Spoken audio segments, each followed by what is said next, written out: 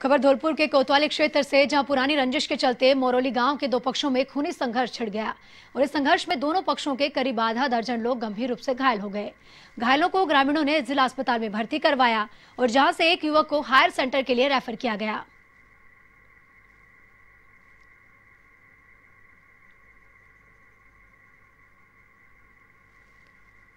धौलपुर में दो पक्षों में खूनी संघर्ष हो गया और इस खूनी संघर्ष के बाद दोनों ही पक्षों के आधा दर्जन लोग गंभीर रूप से घायल हो गए।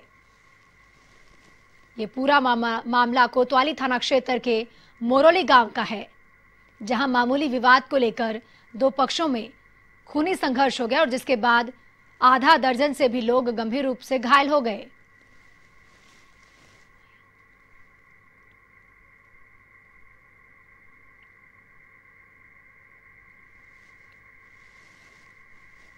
और इसी खबर पर हमारे साथ धौलपुर से एवं संवाददाता मुनीश धाकड़े फ़ोन लाइन पे मौजूद है।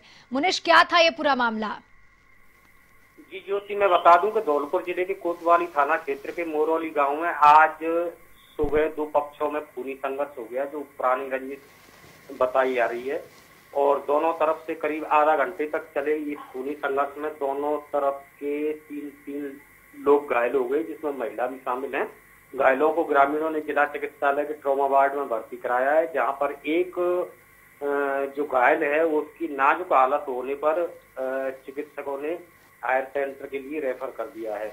बताया जा रहा है कि ये दोनों पक्षों में पुरानी रंजिश चली आ रही थी, तभी भूसे की ट्रॉली एक पक्ष खला रहा था तो उसी टाइम पर दूसरे पक्ष ने आकर के इनसे जब यहाँ नहीं खिलाने की बात कही तो दोनों में कासुनी हो गई और विवाद इतना बढ़ गया कि दोनों तरफ़ से लाठी भाटा जंग होने लगी।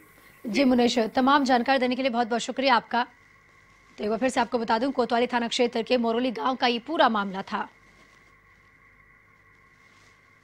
देश और दुनिया की हर छोटी बड़ी खबर के लिए सब्सक्राइब करें एवन टीवी न्यूज़ साथ ही बेल आइकन को प्रेस करें ताकि आप पा सकें ताज़ा खबरों की नोटिफिकेशन।